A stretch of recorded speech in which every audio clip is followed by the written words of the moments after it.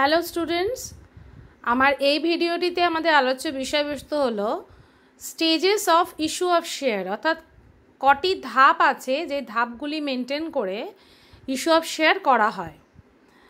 তো প্রথম ধাপটা হচ্ছে প্রসপেক্টাস বা বিবরণী মানে এখানে বোর্ড অফ ডিরেক্টরসের মেম্বাররা তারা বা উদ্যোক্তা যারা কোম্পানির তারা হচ্ছে বিবরণী তৈরি করছে বিবরণীটা বলা যেতে পারে কাইন্ড অফ অ্যাডভার্টাইজমেন্ট যেটা হচ্ছে তোমার কোম্পানির বর্তমান অবস্থা, ভবিষ্যতের পরিকল্পনা ইত্যাদি সমস্ত কিছু জানিয়ে হচ্ছে শেয়ার মানে হবু শেয়ার হোল্ডার বা যারা শেয়ার কিনতে আগ্রহী তাদেরকে উৎসাহিত করা বা তাদেরকে আগ্রহ তাদের মধ্যে তৈরি করা যে এই কোম্পানির শেয়ারে যাতে তারা ইনভেস্ট করে বিনিয়োগ করে। এবং এইটাই কিন্তু রেজিস্ট্রারের কাছে রেজিস্ট্রেশন করিয়ে নিতে হয়, দেখিয়ে নিতে হয়, তাদের, তার কাছে ওটা দেখিয়ে নিতে হয়। এইটা পাওয়ার পরে যারা আগ্রহী শেয়ার হোল্ডার ওই কোম্পানিতে ইনভেস্ট করতে যারা আগ্রহী, তারা নির্দিষ্ট ফর্ম ফিল আপ করবে এবং নির্দিষ্ট অ্যাপ্লিকেশন মানি পে করবে কোম্পানিকে পাঠাবে। কোম্পানির কাছে অ্যাপ্লাই করবে যে আমাকে এত সংখ্যক শেয়ার আমার নামে ইস্যু করা হোক। এবং তার জন্য প্রয়োজনীয় যে অ্যাপ্লিকেশন মানি, সেটা তারা পাঠাবে।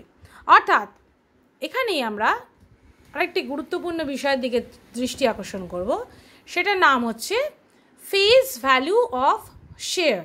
শেয়ারের অভিহিত মূল্য। অর্থাৎ শেয়ারটার দাম কত স্থির করা হয়েছে? মূল্য কত স্থির করা হয়েছে? সাধারণত আমরা যে অঙ্কগুলো করব, সেগুলো দশ টাকা বেসিসে থাকে। এটা দশ টাকা হতে পারে মানে মোট যে, ওই যে সেই আমরা যে আগের যে স্থির করেছিলাম, যে মোট যে ক্যাপিটাল রয়েছে, সেই ক্যাপিটালকে আমরা ইকুয়াল ইউনিটসে ভাগ করে যে প্রত্যেকটা শেয়ারের মূল্য স্থির করছি, সে এক একটার মূল্য, প্রত্যেকটার মূল্য হয় দশ টাকা হবে, নয় একশো টাকা হবে, যাই হোক, হাজার টাকাও হতে পারে। সেটা কোম্পানি যা স্থির করবে সেইটা। তো সেটাই হচ্ছে শেয়ারের ফেস ভ্যালু যেন মুখের শেয়ারের মুখের যেন দাম সেটা। সেই ফেস ভ্যালুটাকে তিনটি কমপক্ষে তিনটি স্টেজে ভাগ করা হবে। একটা হচ্ছে অ্যাপ্লিকেশন মানি একটা হচ্ছে অ্যালটমেন্ট মানি একটা হচ্ছে কল মানি অ্যাপ্লিকেশন স্টেজ অর্থাৎ যেখানে বলে দেওয়া হবে যে অ্যাপ্লিকেশন করার জন্য, শেয়ার পাওয়ার আবেদন করার জন্য কত টাকা দিতে হবে সেখানে বলে দেওয়া থাকবে। এবং এটা, এখানে একটা কোম্পানিজ অ্যাক্টে এখানে একটা রুল আছে।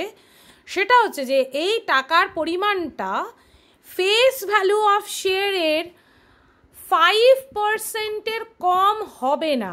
ফাইভ পার্সেন্টের কম হবে না। অন্তত ফাইভ পার্সেন্ট বা তার বেশি হতে হবে। অর্থাৎ যদি দশ টাকা তোমার এ হয় ফেস ভ্যালু হয়, তাহলে পঞ্চাশ পয়সার নিচে কিছুতেই হবে না আবেদনের জন্য। এটা সরকারি মানে কোম্পানির এটা নিয়ম। পরের স্টেজ হচ্ছে অ্যালটমেন্ট অর্থাৎ এবার ওই যে অ্যাপ্লিকেশনগুলো এলো বোর্ড অফ ডিরেক্টরস মেম্বাররা এরা বসবে, বসে আলাপ আলোচনা করে যে সমস্ত অ্যাপ্লিকেশনগুলো ওদের ঠিকঠাক মনে হবে, সে সমস্ত অ্যাপ্লিকেশন যারা করেছে তাদেরকে শেয়ার হোল্ডার হিসেবে ওরা অ্যালটমেন্ট করবে মানে তাদেরকে লেটার অফ অ্যালটমেন্ট পাঠাবে। এবং লেটার অফ অ্যালটমেন্ট পাঠানো মানেই হচ্ছে তখন শেয়ার হোল্ডার যে মানে যিনি শেয়ার হোল্ডার হতে চলেছেন, ভবিষ্যতের শেয়ার হোল্ডার যিনি, তাকে অ্যালটমেন্টের জন্য যে মূল্য ধার্য করা আছে, কোম্পানিতে বলা আছে, সেই টাকাটা দিয়ে দিতে হবে। এটা হচ্ছে অ্যালটমেন্টের স্টেজ আর যাদেরটা, যাদের যাদের অ্যাপ্লিকেশনটা গ্রাহ্য হবে না, যাদেরটা মেনে নেওয়া হবে না, তাদের টাকা ফেরত দিয়ে দেওয়া হবে। মানে অ্যাপ্লিকেশনে যে টাকা তারা দিয়েছিল, সে টাকা তাদেরকে ফেরত দিয়ে দেওয়া হবে।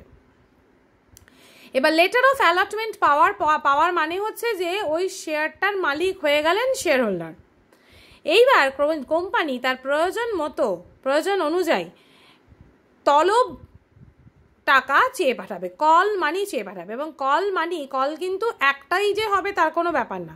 এটা দুটো তিনটে কলও হতে পারে first call second call third call বা ফাইনাল কল এরকমভাবে হতে পারে। ফার্স্ট কল ফাইনাল কল হতে পারে। দুটো কল হতেই পারে।